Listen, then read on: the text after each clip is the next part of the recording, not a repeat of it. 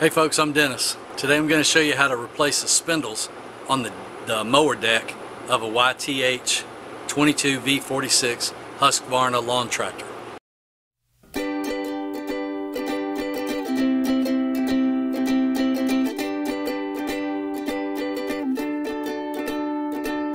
The um, spindles on my deck have become worn because I have abused my tractor and uh, cutting stumps and sticks and everything else out in the woods so it's time to replace the spindles. You'll need to have removed the deck from the tractor before you tackle this job and uh, there's another video on my channel that shows exactly how to do that how to remove the deck from the mower. So please watch that first and then come back. Let's get started. What we have to do is we've got to take these two plastic guard covers off and then these guide pins that hold the belt onto the spindle pulleys. They're uh, bent together. They've got a couple of bolts in each holding them down to the deck. We got to take those off so we can get the belt out from around the spindle pulley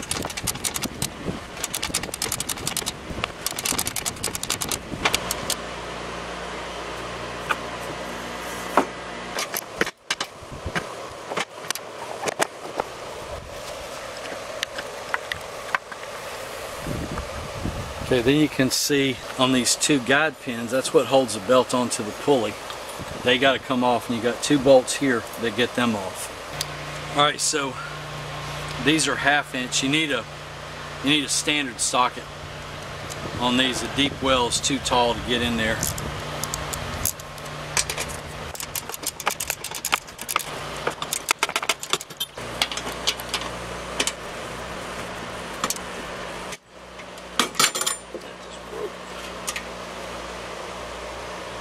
Broke that bolt off.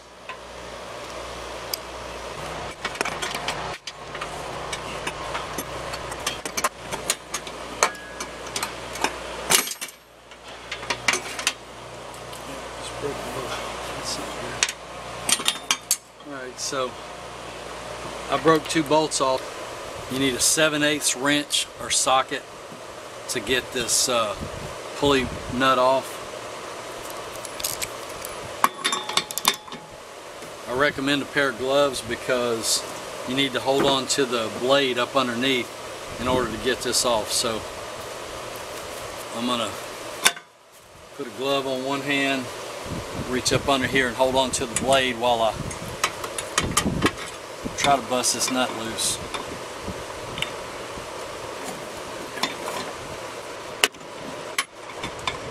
So that's easy. Easy enough. Just gonna push that out. You're gonna push that out of the way. Some of, sometimes these are gonna be kind of tight, so you may have to take a like a rubber mallet or a dead blow hammer and knock this loose. Sometimes not so bad. It's on a it's on a little fixed or a little star uh, shoulder there.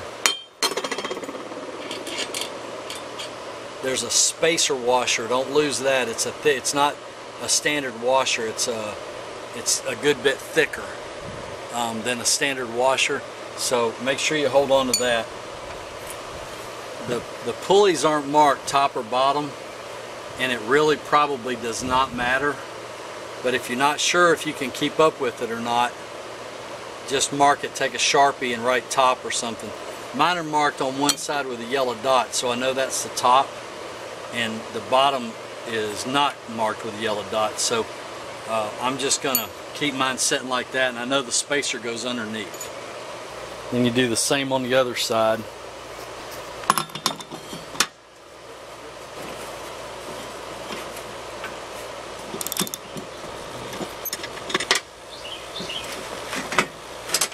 You got a spring on this brake over here that opens up like that. And you may have to give this thing a couple whacks. If it won't come loose, take a dead blow hammer. I wouldn't use a metal hammer because you can deform the flanges on the pulley and then they'll tear your belt up. So get that out of the way and just give it a couple of taps. It'll come. It'll start coming loose.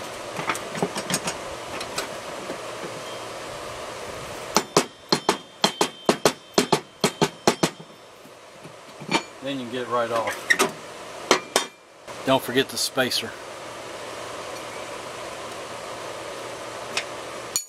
Alright, next thing you want to do is you want to take the blades off. So, uh, 5 eighths uh, socket or uh, wrench. Glove on your hand so you don't get cut or pinched with your blade.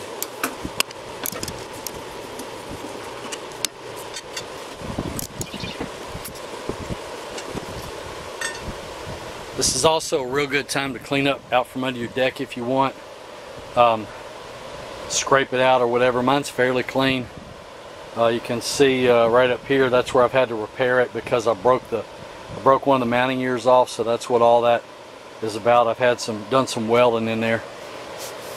Uh, normally you wouldn't have that and then I'm also missing the baffle that goes right here because I bent it uh, and I didn't replace it so there's just a little sheet metal baffle that goes right here I've got two little lizards that keep hanging out here with me helping me out. There's one of them.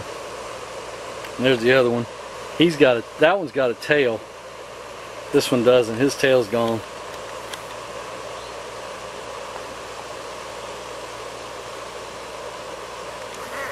So, little helpers. Okay, half inch socket. I already have these loose because I loosened them up so I could get the belt off. So now it's just a matter of taking them the rest of the way out.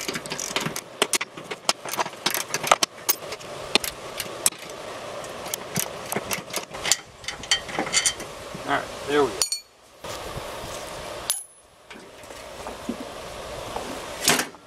Alright, so that's what the spindle looks like. Now, what you got to do is you got to make sure when you order your new ones, if you want to order them in advance, some of these decks come with a three uh, bolt spindle and some with a four bolt. Um, mine obviously comes with a four bolt. If you go to the repair parts manual that came with the tractor, go to the drawing, you've got the spindle, the spindle housing, the bearing, the spacer, the pulley, and the pulley bolt, pulley nut. If you go to the parts manual, they really only give you the, the spindle housing, bearing, the spindle itself. Um, if you go online, you can find the whole assembly. So what I did was I went on to Amazon and I found my spindle uh, assemblies and I ordered them there. And I'll leave a link in the description of where I ordered them um, and what the part number is. So as you see, they come with a complete assembly. New spindle bolts, new pulley nut, um, and then also new blade bolts and blade washers, which is pretty cool. So I can replace all of that. Now you can buy these that are greasable and non-greasable. Now the ones that came off of my deck there are no grease fittings. There's nothing here, nothing on the housing. I like the greasable ones because I want to be able to put grease in it. I think it'll probably last longer. So you'll notice this one has a Zerk fitting right up here at the top of the spindle. Take it off where you can see it right here. So now when I'm greasing the front end on the tractor I can also shoot a, a squirt of grease into the uh, spindle and probably um, increase its life. So to keep it safe, I'm going to put all this on here. I want to protect the threads, so I'm going to leave that pulley nut on there, and then we'll install it. So I got to take these these bolts out. Doesn't matter which way this goes in. It's all the same. It's symmetric. So uh, it, it just goes in from the bottom, and you just got to make sure that all your bolt holes are lined up.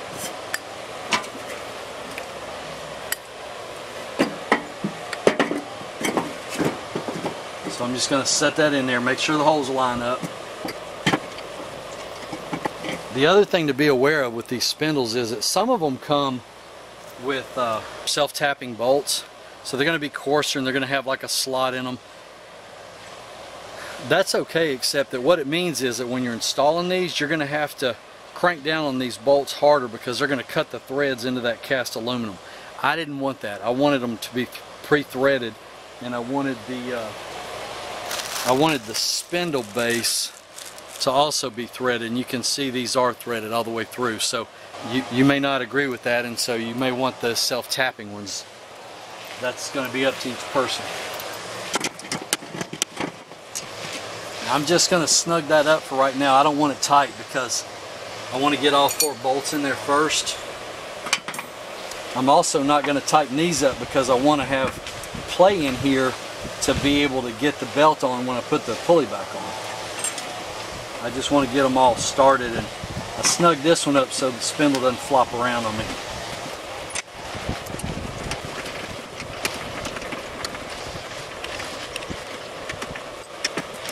But you do want to make sure that all four are, started real well in there, that the spindle's completely centered in the hole. Um, take the pulley nut off. Now don't forget that spacer. Well, never mind. There's the new spacer. It's already on the it's already on the spindle. It goes under the pulley. Don't put it on top because it's going to mess up your belt alignment. It goes under the, the pulley on top of the bearing. Make sure you got your pulley turned the same way. I doubt it matters, but I'm going to stick with what's on top. Mine happened to be marked with a yellow dot on the top, so got to make sure that brake's out of the way. Okay. Take the new pulley nut, stick that on there. We're not going to be able to tighten that up uh, all the way until we put the blade on the bottom. You'll notice there's a there's a recess in here and the recess part gives you a, a open shoulder to go over this starred part that the pulley locks onto. So alright that's that's that for right now. Alright so I flip the deck over. I'm going to take the new the new blade bolt and washer. Don't ever use just a standard washer on your blade like this because this is a special uh, washer. They're hardened. They're made for lawnmower blades. They're not just standard washers. Line that up on the star. Take your bolt.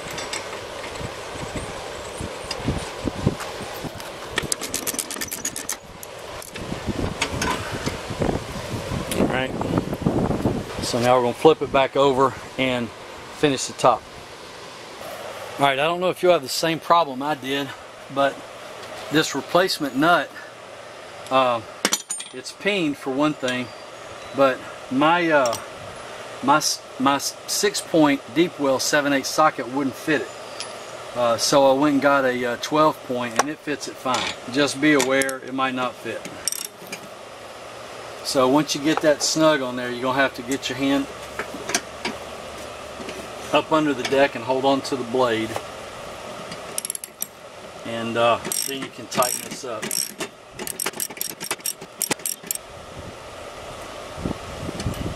Be careful not to slip off of this because if you do, you'll break this Zerk fitting off and you have to replace it. So now all we got to do is do that to the other side. So the good news is the two bolts that I broke off, no big deal because they thread into the spindle. So that's a blessing.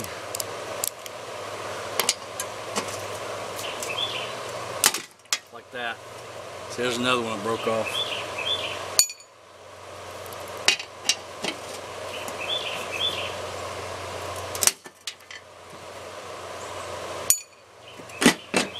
Well, that was easy.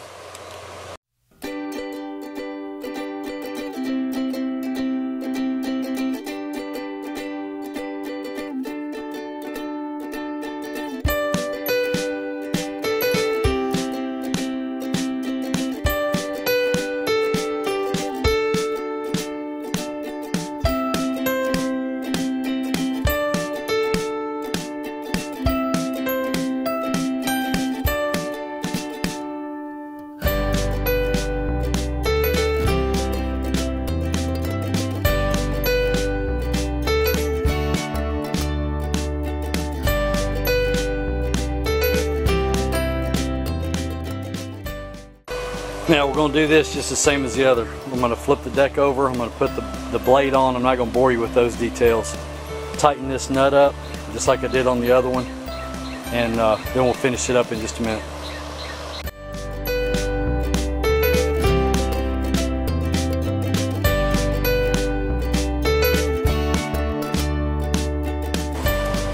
Put put the belt back on.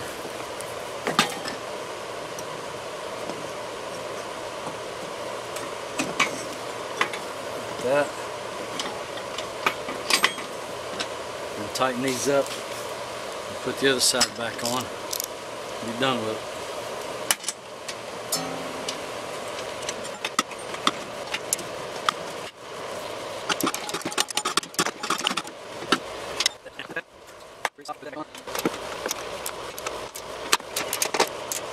You don't want to tighten these up too much because they're going into plastic. But anyway, that's it. Finish up the other side. All we got to do is tighten up, put the belt on, tighten up the two guide bolts, put the uh, cover back on, and then all I have to do is grease those two fittings and we're good to go. I'll do that here in just a minute. I'm going to finish this up again. No point in boring you with the details. You've already seen it once. So if you bought spindles that have grease fittings on them, the last thing you got to do is you've got to put uh, grease in each spindle. If you bought the kind that are uh, already sealed and don't have grease fittings, you don't have to worry about this step. Um, so strictly your preference on which ones you bought and replaced with, but again, if you've got the kind that need to be greased, you're going to have to grease both spindles. So you need a grease gun, pop it onto the onto the Zerk. I'm going to give mine enough grease so that that play comes out of the spindle. There should be a little bit of play in there, so what I'm going to do until that play comes out, it's probably going to take a good bit because these are empty. Which, what you don't want to do is pack it so tight that you bust the seal on the bearing because that's just going to prematurely ruin the bearing. And I'm just using regular bearing grease.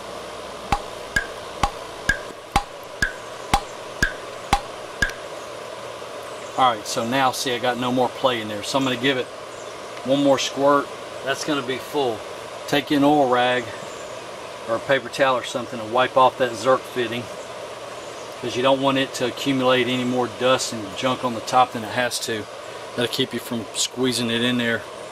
But just keep going until you start feeling a little bit of back pressure and then continue to check for up and down play in that bearing. Once that once that cavity is full of grease, you see that pulley's going to stop moving up and down, so that'll fill it up. So I'm going to do the other one and then we're done. Alright folks, well that's it. Now you know how to change the spindles out on a deck on a Husqvarna YTH22V46 tractor. I'm glad you watched this video and I hope it helps. If you get stuck, if you have a problem, you're not sure about any of the instructions, then uh, please just leave a comment below and I'll be glad to try my best to get back to you as soon as I can. Thanks again for watching my video. I appreciate it. Thanks for checking out my channel. I hope you subscribe. Check out some of my other videos on this tractor and some other things as well. And uh, I hope to see you back soon. Thanks.